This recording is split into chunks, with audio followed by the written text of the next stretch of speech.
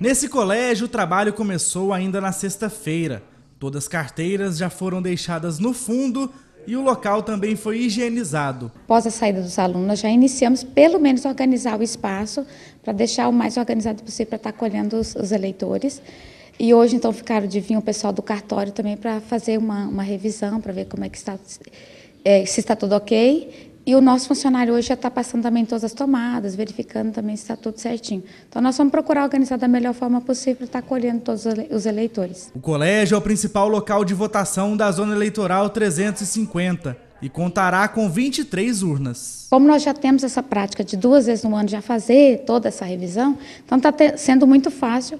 Até o nosso funcionário disse que ele provavelmente não vai encontrar nada com defeito, né, que possa de repente até prejudicar o trabalho do, né, do cartório. De acordo com o chefe de cartório, já existe essa recomendação para que os diretores dos colégios deixem tudo pré-arrumado para que os funcionários do cartório cheguem e fiscalizem se está tudo certo. Começamos agora a fazer uma vistoria, que a, os locais, na verdade, eles são previamente preparados pelas escolas.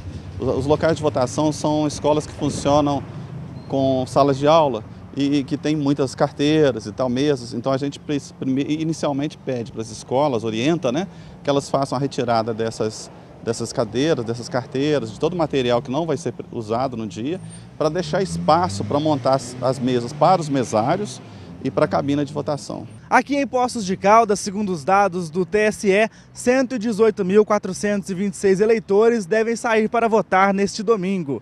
Caso alguma pessoa ainda não saiba ou tenha dúvidas sobre o local de votação, é só consultar no site do TRE. E vale ainda lembrar que na hora do voto é obrigatório levar um documento com foto. Tem uma, um número de telefone que é gratuito, que é mais fácil, é o número 148. Mesmo que a pessoa não saiba o número do título, é, através do número 148 ela informa os dados pessoais dela e eles informam direitinho onde ela vai estudar, onde ela vai votar. Aqui em Poços nós tivemos duas alterações. O pessoal que, vai, que estava votando no prédio da UENG, ali na rua Corumbá, no Jardim dos Estados, foi transferido para votar na escola Dom Bosco, na rua Campestre. E o pessoal que vota no SESC vai, foi transferido para a escola Criativa Idade, ali na rua Francisco Lobato, Francisco Faria Lobato.